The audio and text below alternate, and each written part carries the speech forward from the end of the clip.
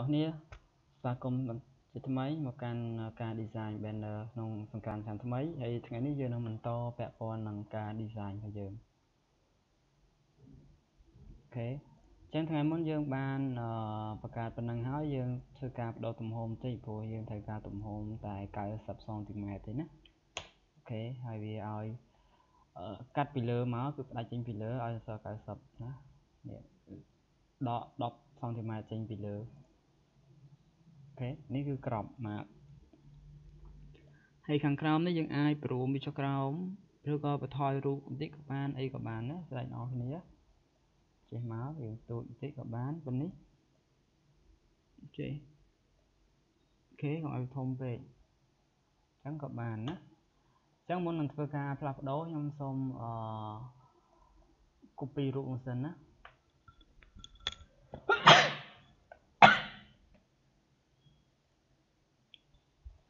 បាទអញ្ចឹងខ្ញុំធ្វើការអឺ duplicate នេះគេ duplicate វាហើយខ្ញុំ convert វាទៅជា smart object អញ្ចឹងទុកវាមួយសិន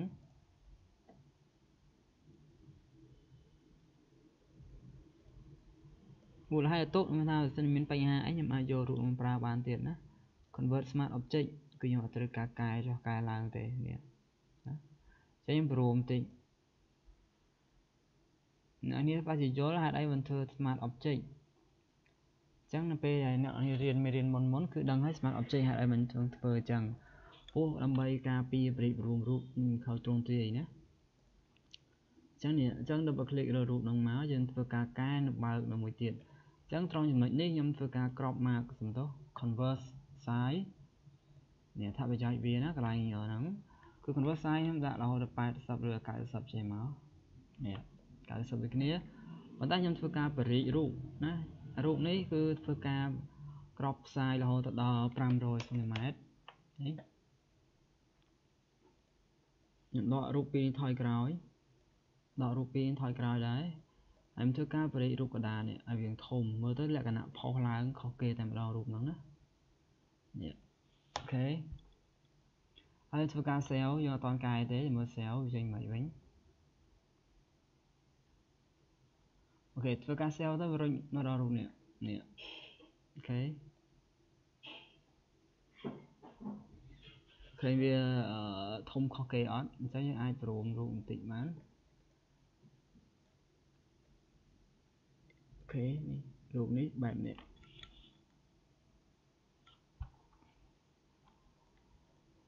រួមបន្តិចអូខេអូខេយើង self តែខ្ញុំមើលឡើងនេះវិញវាមិនធ្វើការផ្លាស់ប្ដូរនេះណានេះរូបរបស់យើងហ្នឹងចេញចេះ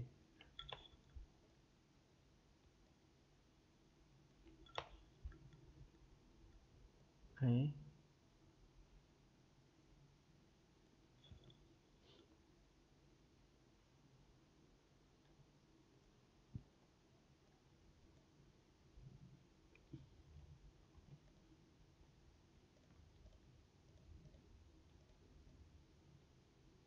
ឆ្ងាយតិចមក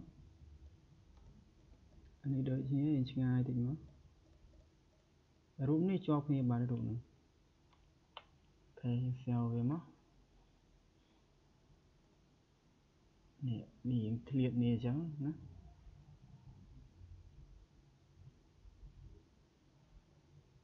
អូខេយកចូលវិញតិចមកនេះខាងនេះបន្តិចព្រៀកបន្តិច រូបបញ្ចូលនេះបន្តិចមកហើយរូបបញ្ចូលបន្តិចចេះអូខេរូបយើងទួយធំជាងគ្នាណោះអញ្ចឹងយើងបរិយរូបនេះយើងធំបន្តិចមក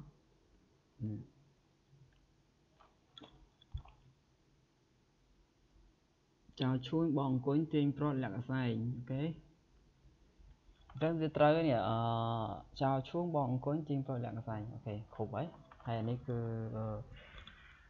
របាំត្រាត់ អូខេតែយើងដាក់ធំធំហ្នឹងបានហើយយើងធ្វើការ self ហើយធ្វើការ edit ឡើងនេះទេហើយយើងយក multi វិញមកដាក់ can ពេលយើងមើលរូបភាពខុសប្លែកគ្នាយ៉ាងម៉េចខ្លះក្នុងរវាងអឺ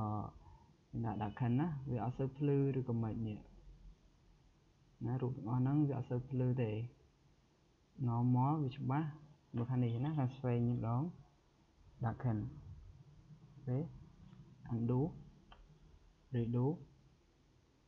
ណាយើងមើលខុសនេះអត់ខុសនេះច្រើនអត់កាវ color វាណាបើអត់សូវខុសនេះច្រើនទេយើងអាចប្រើបានអូខេនេះដាច់ background អស់ហើយយើងអាចប្រើបានតែម្ដងណាមិនបាច់សាំញ៉ាំច្រើនទេចឹងត្រង់ចំណុចនេះយើងត្រូវធ្វើការ clone ដីមកវិញណានេះ clone ដី clone វាមក clone បន្ថែម clone បន្ថែមដីហ្នឹងមក អា clone នេះ clone វាច្រើនមក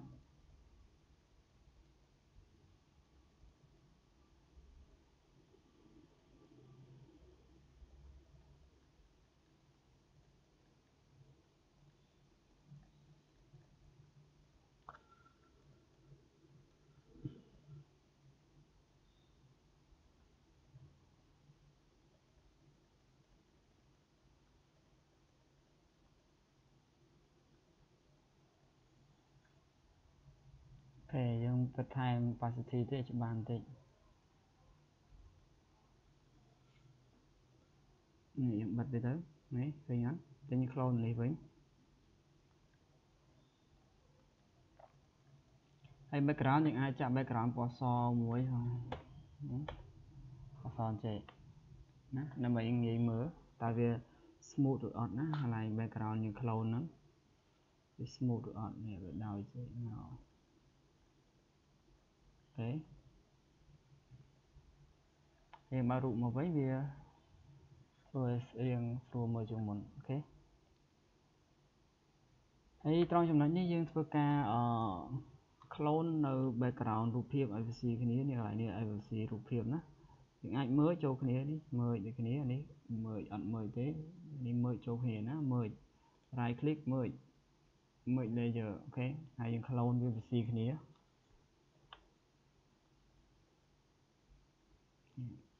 clone បស៊ីជាមួយនឹងបន្ថយ flow បន្តិចមកហើយនឹង opacity វាហើយនេះគឺអាចយើងទាញចេញមកនេះព្រៃណាធ្វើដូចព្រៃ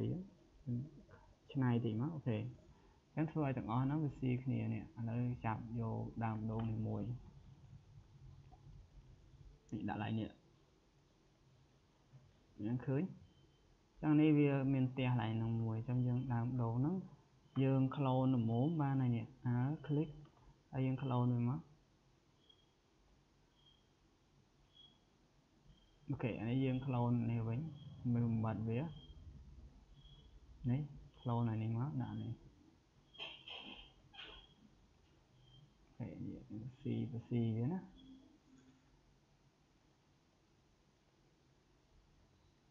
ខេនេះដោយដើមឈើហ្នឹងវាដោះនៅចិត្តចិត្តនេះយ៉ាងនេះ clone វាចេះអូខេយើង clone ព្រៃស៊ីគ្នា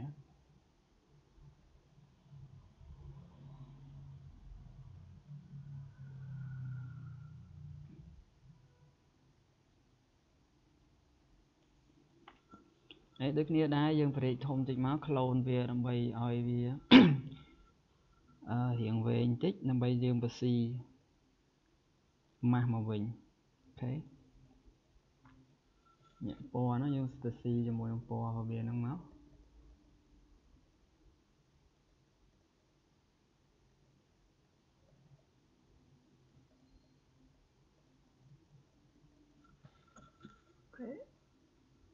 នេះ clone ចឹងយើង clone ទៅស៊ីចឹងមកហើយយើងធ្វើការ save save ទៅវាចូលឡើងនេះអូខេមើលវាស៊ីនេះអត់អានេះយើង stir បន្តិចកន្លែងនេះចឹងយើងអាចចូលកន្លែងនេះវិញមកយើងធ្វើវាស៊ីរៀង stir stir បន្តិចកន្លែងនេះ flow ហើយនឹង opacity បន្ថយតិចមកដើម្បីវា clone វាស៊ីយកគ្នា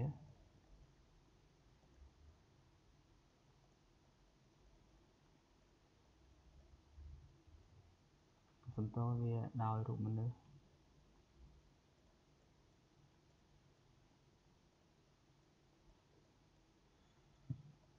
OK អញ្ចឹងមើលទៅយើងស៊ីគ្នាជាងមុនអូខេយើង self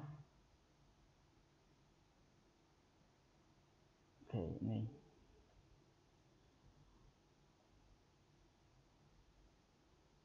ខេអញ្ចឹងយើងអាចទាញរូបនេះមកខាងខាងនេះបានណាហើយកន្លែងនេះគឺយើងធ្វើការម៉ាស់នេះម៉ាស់ខ្ញុំប្រាប់ដូចនេះអញ្ចឹងម៉ាស់ទៅស៊ីវាចឹងមកហើយវានឹងស៊ីជាមួយនឹង background យើងពណ៌ខៀវនេះ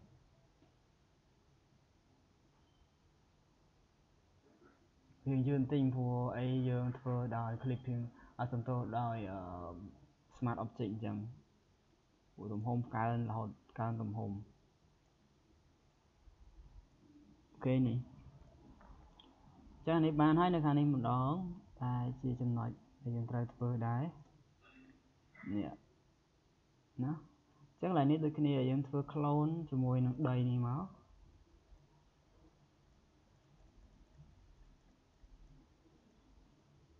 ណាវាអត់ស្រួលទេក្នុងការ design បែបនេះបើសិនជាវាស្រាប់ស្រាប់ស្រួលអីទេតែនេះវាអត់ស្រួលវាការកែច្នៃណាក្លូនចឹងអ្នកនរត្រូវប្រើអ្វីដែលអ្នកនរមានតាមមកទាំងអស់អូខេ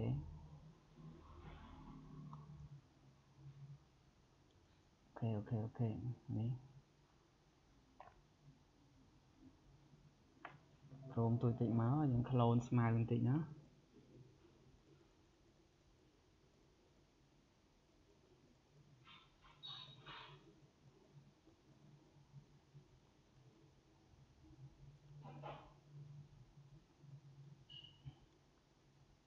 ព្រោះវាជាគំនូអញ្ចឹងអត់អីទេយើងខាត់អញ្ចឹងដូចគំនូដែរណា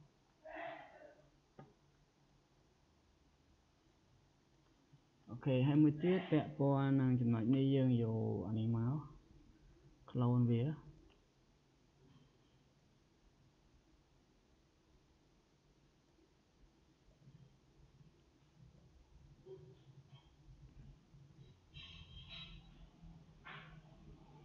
មិនចេះនេះហ៎ដបងផ្ទះចេះមក វិញធ្វើការ clone វាផ្ដាច់វាចោលវិញមក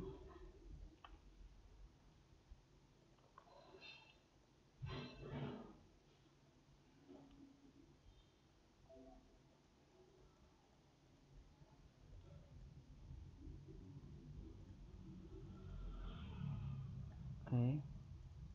អាចចំណុចចោលវិញហើយចំណុចត្រង់នេះយើងផ្ដាច់វាចោលដែរទៅនេះ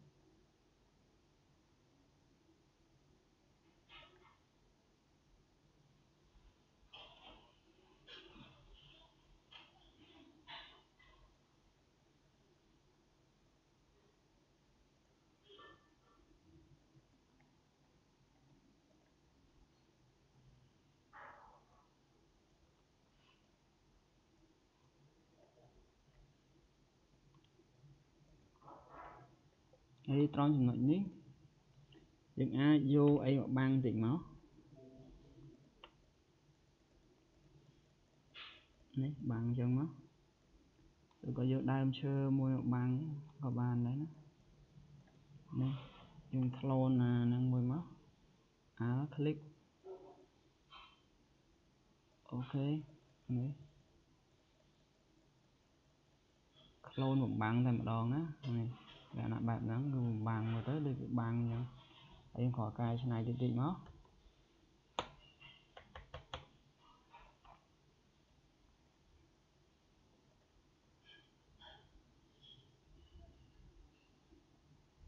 អូខេ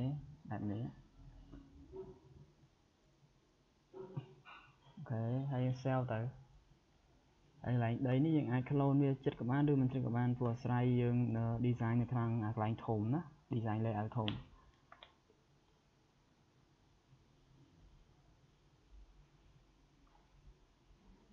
ចឹងធ្វើការ sell ទៅវានឹង flash ចូលទៅ Photoshop យើងតែម្ដងនេះអូខេ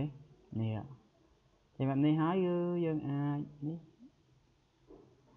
កន្លែងនេះគឺយើងម៉ាស់វាណានេះម៉ាស់បើស៊ីអសំ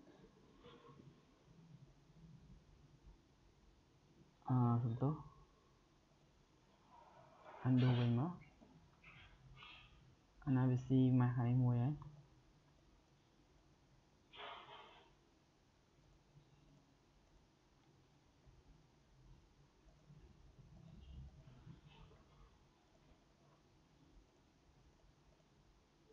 បិទនេះចោលចាក់សារវាជាប់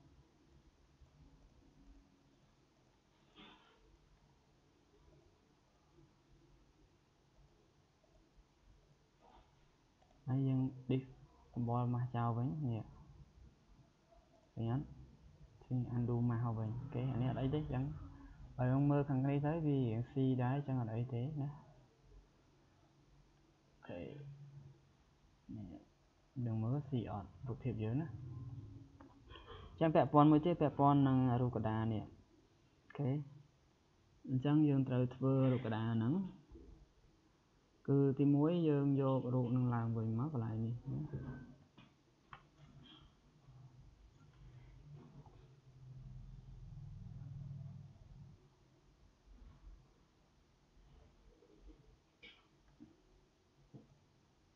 គេចាប់វាមកដាក់ចូលវិញត្រេកធំមក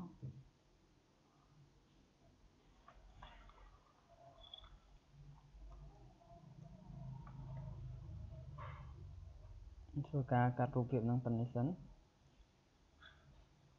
click ចោល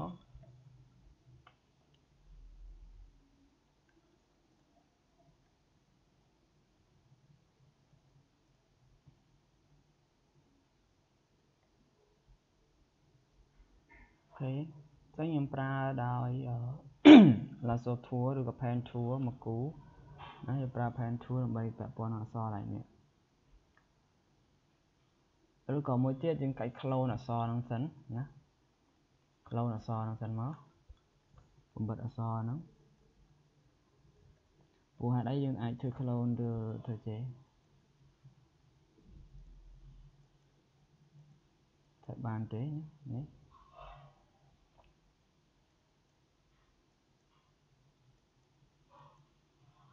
ហើយស៊ីចេះក៏បានឬក៏អត់ទេវា sẽ bỏ lại giờ chào ok anh ធ្វើការកាត់តែម្ដងនេះ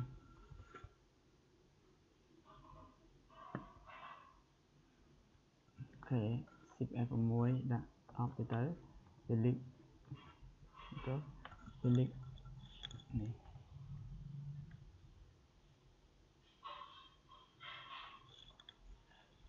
អូខេហើយយើងប្រើនេះខ្ញុំកាត់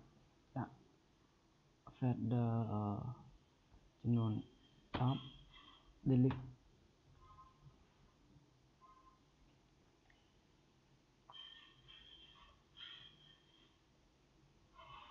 thế.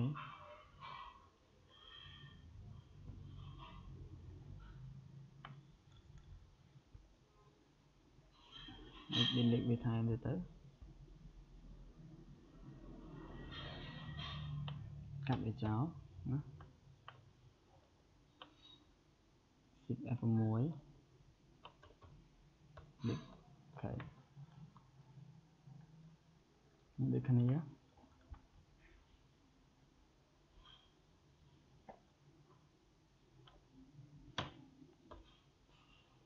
อ่า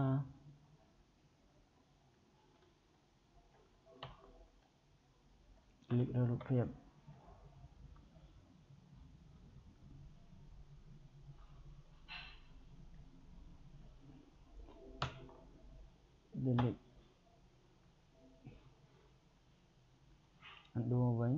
select ណា deselect សិនណា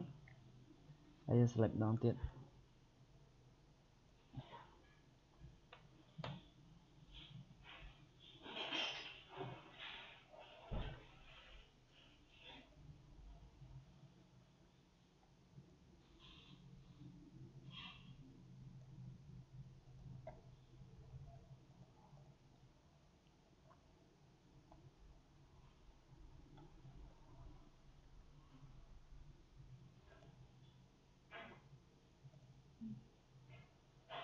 ខេហើយយើង self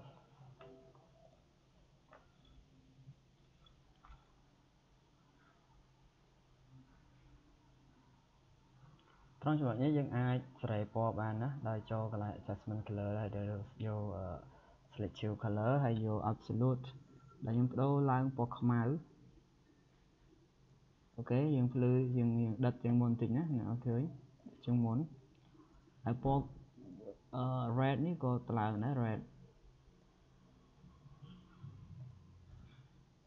អូអានេះឡើងខ្លាំងពេកណាអូខេឡើង red តែមួយពណ៌បានហើយហើយអឺតាមឡានទៅមកចឹងរំលឹកច្រើនណាអូខេអីចឹងឲ្យឡើងពណ៌ yellow តិចលេខណាច្រើនអត់អត់ណែស្គាល់ដែរណៃ អានេះបាត់ទេអូខេអូខេមកហើយចំណុចនេះឲ្យគ្នាដែរយើងចង់ឡើងពណ៌ឲ្យឡើងបានណាអូខេហើយយើងធ្វើប្រៀបធៀបលើតានេះខុសតានេះបានហើយហើយយើង self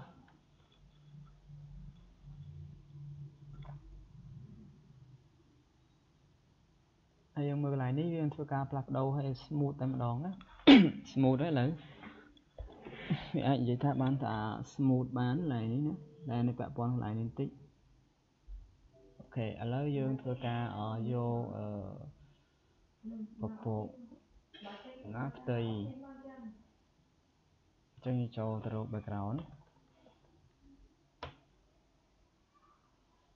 background ដាក់ cloud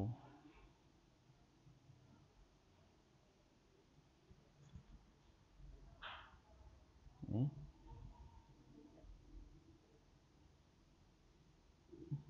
អូខេយើងដើររកអ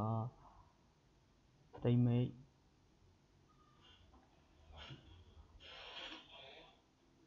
អូខេធ្វើថា nature យើង copy វាមកហើយយើងផាសចូលទៅកន្លែងនេះ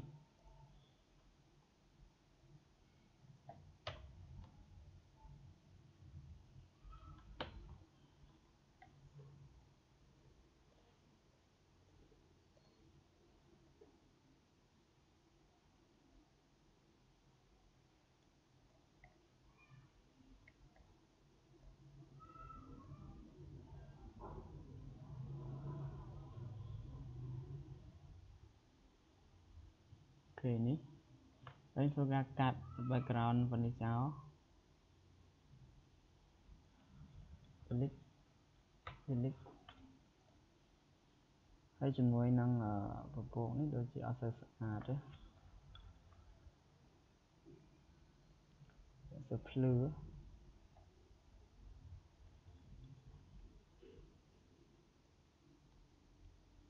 OK យើងយកប៉ុណ្ណឹងយើង capture វាមកតាមស្រេពណ៌តាមក្រោយ OK ហើយយើងយកវាឲ្យទៅជា mask នេះមក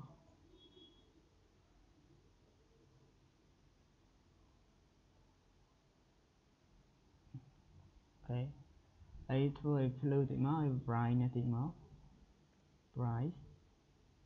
នេះហើយអាចតម្លើងពណ៌ blue វាខ្ពស់បន្តិច blue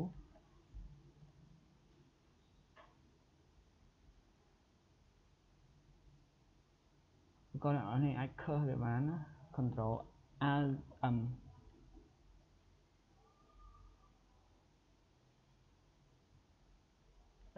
curve វាឡើងមក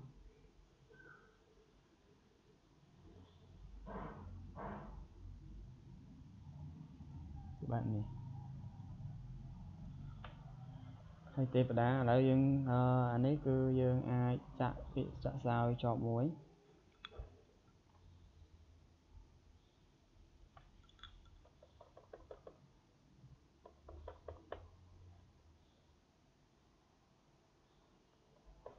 គេចាក់សារវាជាប់អានេះអាចលុបចេញទៅវាខុសគេអញ្ចឹងអូខេថា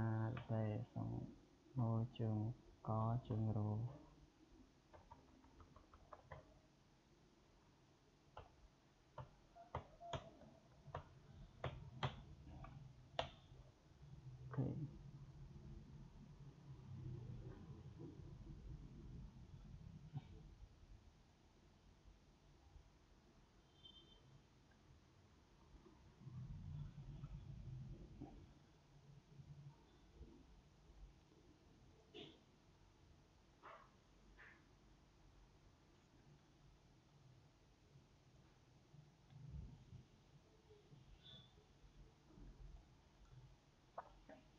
អាចដាក់រូប font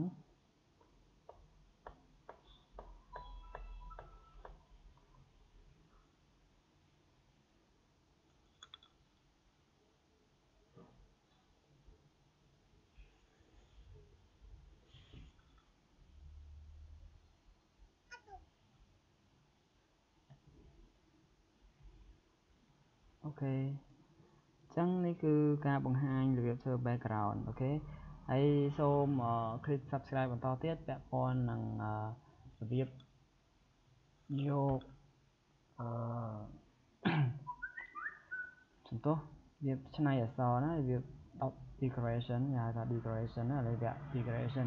background យកប៉ុណ្ណឹងហើយនឹងមាន background ពពកហើយនឹងនេះកន្លែងនេះភ្លឺមកដើម្បីវាជះពន្លឺចូលចេញមកអូខេហើយយកផ្កាដាក់មកនេះទៀតណាអញ្ចឹងឥឡូវ slash ប៉ុណ្ណឹងសិនអរគុណច្រើនសូមតាមការទស្សនាតាមដានអរគុណច្រើន